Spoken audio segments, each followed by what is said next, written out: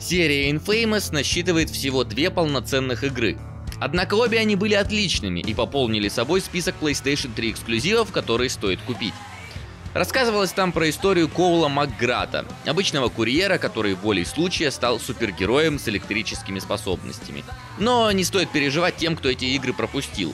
Знать прошлые события не обязательно для того, чтобы понять, что происходит в третьей части. Разработчики явно пытались дистанцироваться от них, даже тройку не прилепили, да и с русским переводом названия тоже решили не баловаться в этот раз и так и оставили Infamous. Infamous. Infamous. Сукин сын. Эм, то есть Second Son, второй сын. Отчего же он второй? Может потому, что история прошлого персонажа закончилась, и теперь у нас новый герой, а может потому, что у этого героя есть старший брат, который сын первый. Уж не знаю. События разворачиваются через несколько лет после окончания второй части, в которой все проводники вроде как должны были погибнуть, но, как оказалось, не совсем. Поэтому была создана специальная военная организация DES, которая занимается их отловом и тюремным содержанием. Но все это никак не касалось нового героя Делсина Роува. Он промышлял мелким вандализмом и хулиганством, а родной брат, шериф, постоянно его за это арестовывал. Так было до тех пор, пока фургон с пленными проводниками не попал в аварию неподалеку от места обитания братьев. Вступив в контакт с заключенными, Делсин обнаруживает, что тоже обладает сверхсилой, возможностью копировать чужие способности, типа как Сайлер из уже старого сериала «Герои». Разумеется, подобный инцидент привлекает внимание десовцев, и в результате все соплеменники Делсина оказываются в смертельной опасности. Для того, чтобы помочь им, герой отправляется в Сиэтл. Там он планирует сразиться и победить Августину, командира всей организации Дес.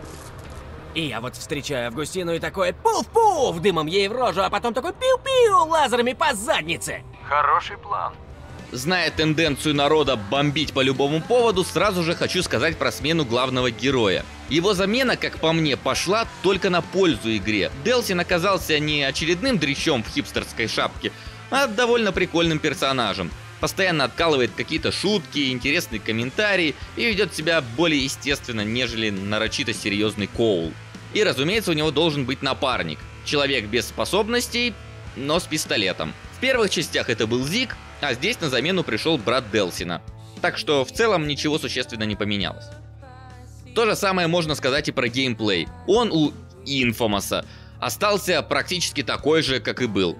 Приходится расстреливать врагов из пальца и карабкаться по зданиям. В общем, такой любопытный сплав Assassin's Creed и прототипа. Но это основа, скелет, так сказать. А вот мышцы на этом скелете изрядно поменялись.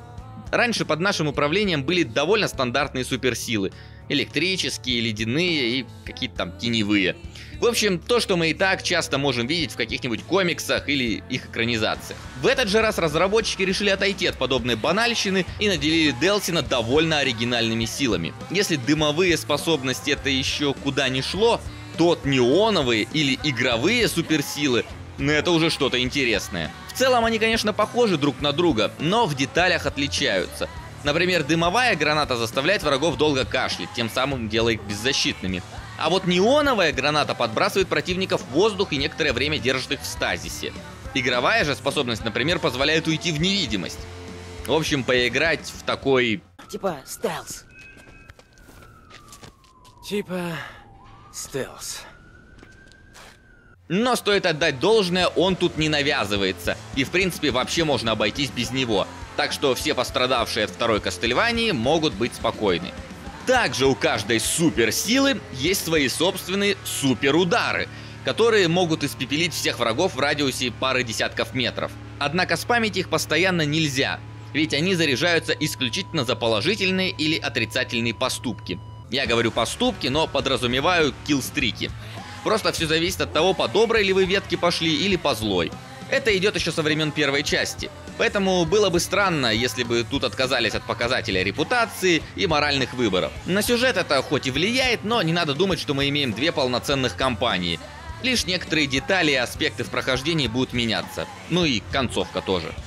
Но я хотел бы еще немного задвинуть про способности, поскольку они тут это почти самое главное. Дело в том, что хоть их и несколько разновидностей, но пользоваться в конкретный момент можно лишь одним типом.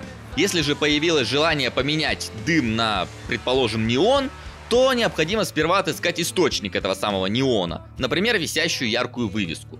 Подзаряжаться вообще крайне важно, поскольку каждый выстрел, каждая ракета и каждое использование суперсил требует энергии, и пополнить ее можно только из внешних источников. Ну и прокачка тут тоже есть. А разве что в этот раз она осуществляется не за опыт, а за энергоосколки, которые раскиданы по городу. Но поиском осколков занимаетесь уже в свободное от сюжетов время. А заняться есть чем, ведь весь город под контролем Деза. И это ненормально. Надо начинать отвоевывать у них район за районом. И тут тоже случилось некоторые изменения. Раньше для получения контроля над небольшим кусочком карты надо было выполнить одно единственное дополнительное задание. Теперь все иначе. Нужно понижать процент влияния сил Деса в отдельном районе. И когда он снизится до 30, можно начать бой за обладание этой территорией. Понижается процент за счет выполнения нескольких типов заданий. Поиски скрытых камер, захваты вражеских агентов, уничтожение блокпостов и рисование граффити. Вообще у последнего очень забавная механика, но разработчики просили не говорить о ней до релиза, и я не буду. После того, как район перешел в ваши руки, в нем становится мало патрулей Деза, а еще открываются точки быстрого перемещения. Однако пользоваться ими не совсем удобно. Обычно в играх Fast Travel можно юзать в любом месте. Здесь же надо сперва дойти до точки перемещения, и только от нее можно прыгнуть до другой. А учитывая, что их еще и открыть надо, и делать это все, наверное, будут в самую последнюю очередь, то все это становится немного бесполезным. Благо, что обычное передвижение по локации стало намного динамичнее. Каждая способность дает уникальные возможности по преодолению препятствий. Дымом можно пролезать сквозь вентиляции, неоном бегать по стенам, а на игровых крыльях даже полетать разрешают. Правда, недолго. Ну и конечно, раз уж у нас тут как-никак Next Gen, то я не могу не рассказать про графон, а то его вам YouTube опять порежет сильно. Так вот, выглядит Infamous великолепно.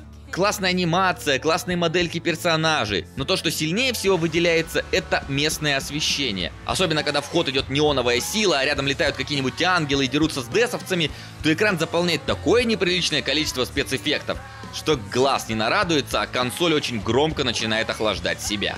В общем, новый Infamous все так же интересно играется, выглядит порой почти фотореалистично, и даже смена героя пошла ему на пользу. Единственное, мне показалось, что в продолжительности игра уступает той же второй части. Однако, может все из-за того, что обычно я сперва выполнял все побочные миссии, и только потом руки дотягивались до сюжетки. А в этот раз все наоборот. Поэтому я сейчас отправлюсь освобождать районы города. Да и концовку за злого Делсина надо посмотреть.